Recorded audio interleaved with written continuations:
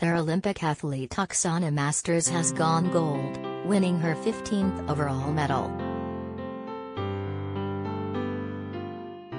On Friday, Masters, 32, won a gold medal for the biathlon women's 12.5 kilometers sitting competition, which is the longest event, for NBC Sports.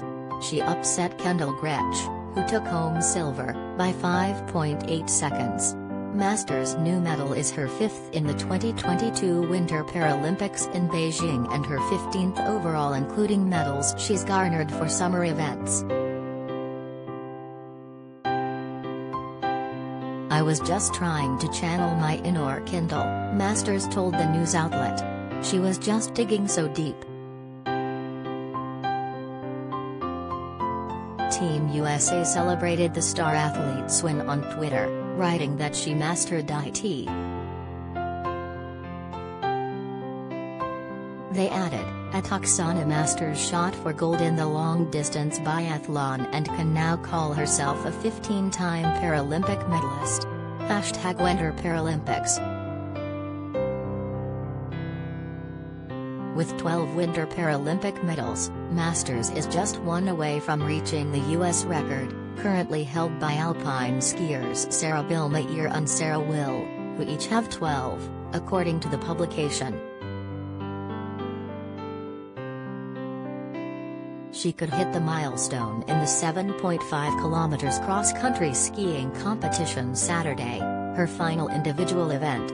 It's also possible Masters will participate in a relay event Sunday, which means she could win two more medals before going home. NBC Sports adds.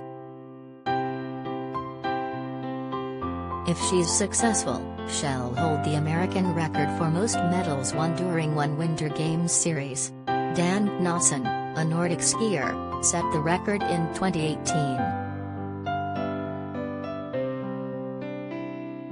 Masters was recently named one of People's Women Changing the World for her work challenging and inspiring others with disabilities. Born with numerous birth defects, which included webbed fingers, six toes on each foot, one kidney and the lack of weight-bearing bones in her legs, all caused by radiation from the 1986 Chernobyl nuclear power plant disaster. Masters was abandoned by her parents as an infant. The first seven years of her life were spent fighting to stay alive in several Ukrainian orphanages. I endured a lot of physical, sexual and mental abuse, along with starvation, Masters told People in an article published Tuesday. In 1996 she was adopted by an American university professor who not only nursed her back to health, in between surgeries to amputate her legs, but also introduced her to the sport of rowing at 13, ultimately changing her life. My mom saved my life twice, explained Masters, who quickly blossomed into a gutsy, competitive athlete. She saved me from Ukraine and saved me by introducing me to sports.